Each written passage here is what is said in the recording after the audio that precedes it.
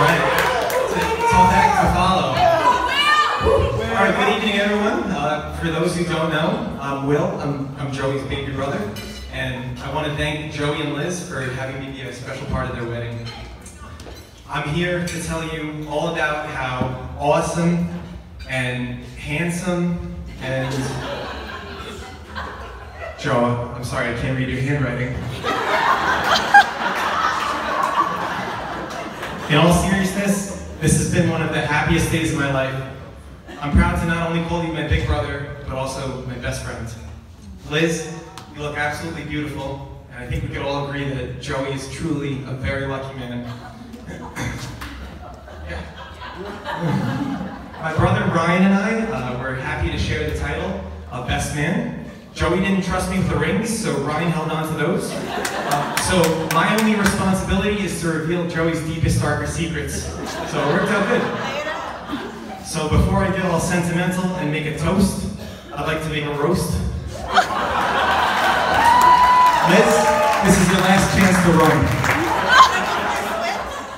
Are we ready? All right. So if you didn't know, Joey and Liz met online. And by online, I don't mean at the store. I meant at this really cool place called Match.com. Liz was looking for a real manly man. Now, if a deer hunting fisherman who lives alone and works at a power plant isn't manly enough, I don't know what is.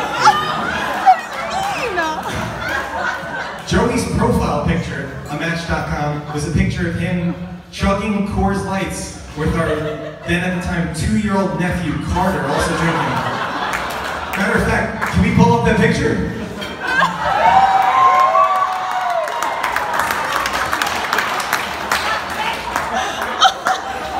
Liz looked at that photo and said, now that's the kind of man I want to spend the rest of my life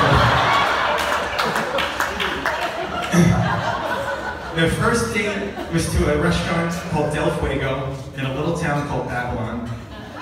About two years later, here Joey and Liz are, back in Babylon, on yet another date, but this time they have a ton of people staring at them. Let me rewind a little. I remember the first night Joey brought Liz to my parents' house. Joey introduced me to Liz by saying, William is a combination between a golden retriever and a moose. I'm still not really sure what that means, so if anyone wants to fill me in, we'll talk after dessert. Soon after I met Liz, I would jokingly call her sister, which in response, she said, I'm gonna call you brother. And I knew that was something I could get used to because she has always felt like family.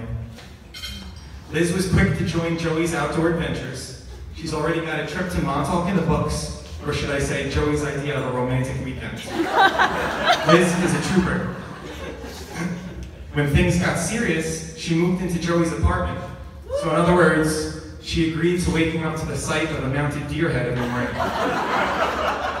now, if you know anything about Joey, you know that he's a big planner. He actually booked the catering hall, the DJ, and the photographer the same night he made his Match.com profile.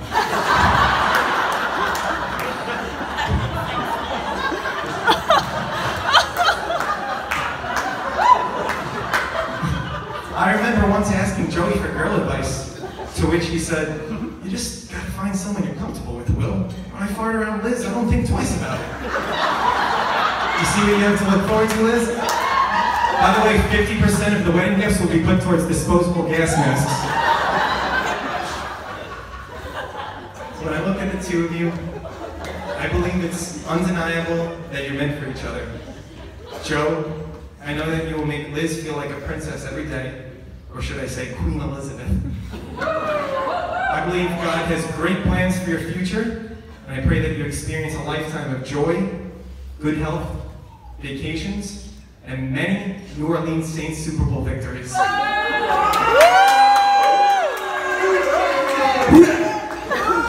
And eventually, one day, I'm sure you will make incredible parents as you have children of your own. I can already imagine little mushroom haircut her Joey Jr. running around the room.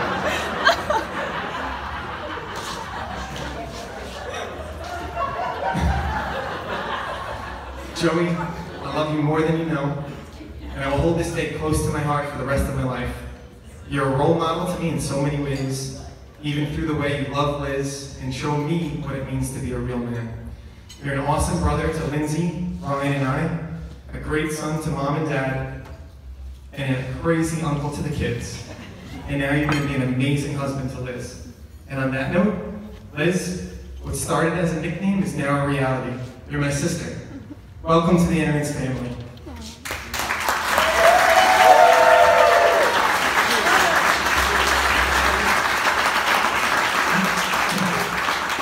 And lastly, before I make this toast, I just ask that Liz puts one hand on the table. Joey, I ask that you put one hand on top of hers. And I want you to really soak in this moment, Joe. This is the last time you'll have the upper hand in this marriage. Cheers to Joey and Liz.